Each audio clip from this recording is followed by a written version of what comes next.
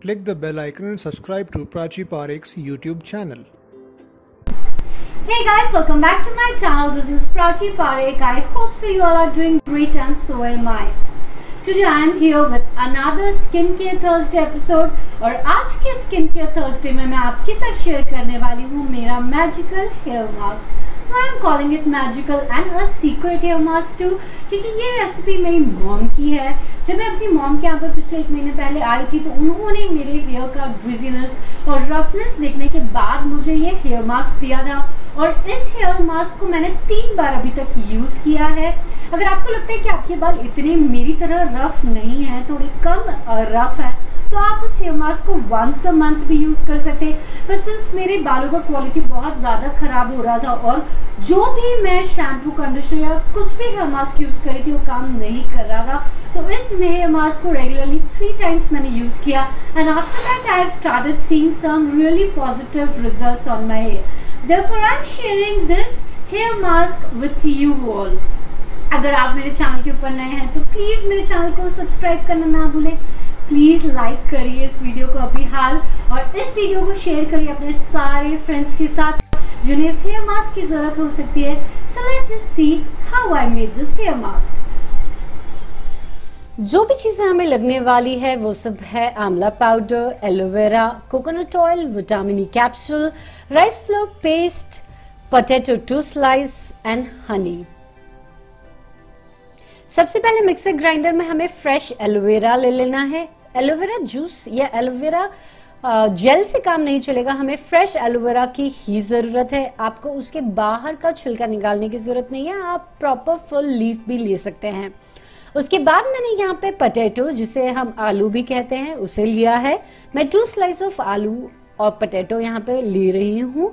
आप देख सकते हैं कि कितना मैंने क्वांटिटी अभी लिया है। ये मेरे बालों की लेंथ के लिए इतनी क्वांटिटी काफ़ी अच्छी थी। अगर आपके बाल ज़्यादा लंबे हैं मेरे बालों से तो आप इस क्वांटिटी को डबल भी कर सकते हैं।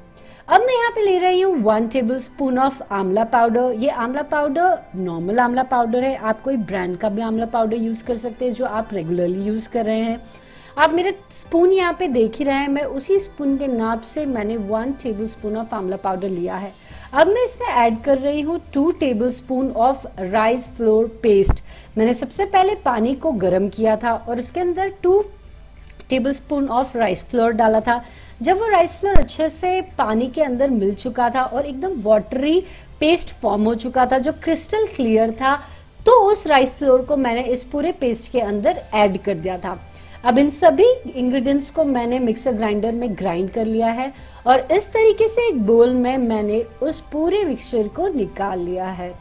आप देख सकते हैं कि इसका कलर कुछ येलोइश हो चुका है। अब इस पूरे पेस्ट के अंदर मैं दूसरी चीज़ें ऐड करने वाली हूँ और वो इंग्रेडिएंट्स हैं one tablespoon of honey इसके अंदर मैं अब हनी ऐड करूँगी और हनी ऐड करने के बाद मैं two tablespoon of coconut oil add करूँगी। सिंस मैंने कोकोनट ऑयल ऐड किया है, इसलिए मैंने डायरेक्टली कोकोनट ऑयल बताया था इंग्रेडिएंट्स में। बट अगर आप चाहते तो आप इसमें एलमंड ऑयल भी यूज़ कर सकते हैं। वो भी काफ़ी अच्छा हमें रिज़ल्ट देता है। बट मैं कोकोनट ऑयल यूज़ करती हूँ तो मैंने normal Parachute coconut oil use किया था।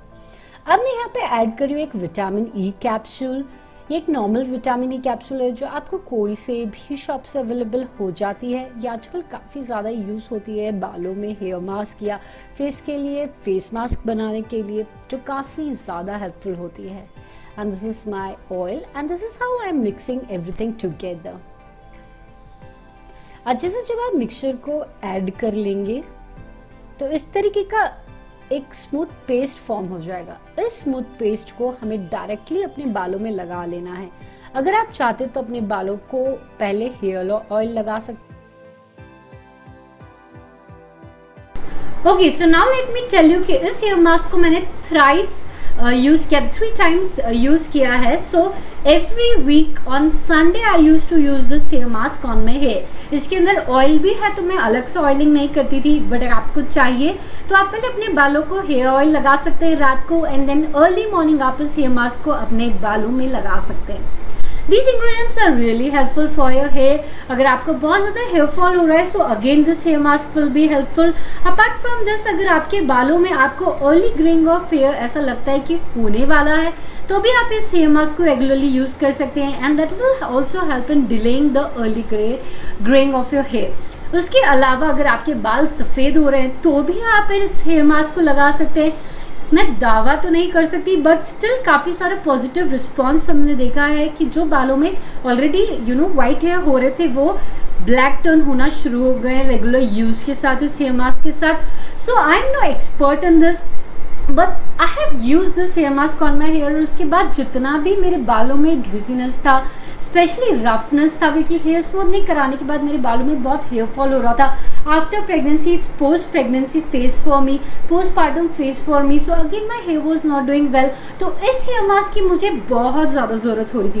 If you are also new mother please try this hair mask on your hair and I will also suggest a patch test first क्योंकि हो सकता है कि कुछ इंग्रेडिएंट्स आपके बालों में आपकी स्कैल्प को इच्छी बना दे या आपके स्कैल्प में इतने अच्छे से वर्क ना करे तो प्लीज़ अपना आ, आप यू नो पैच टेस्ट ज़रूर करिएगा और उसके बाद अगर आपको रिजल्ट्स अच्छे मिले तो use this regularly I hope कि ये मास्क आपको हेल्पफुल रहे और अगर कोई भी प्रॉब्लम आपको आ रही है या कोई भी आपको इससे रिलेटेड डाउट है तो प्लीज़ कमेंट करके मुझसे पूछिए.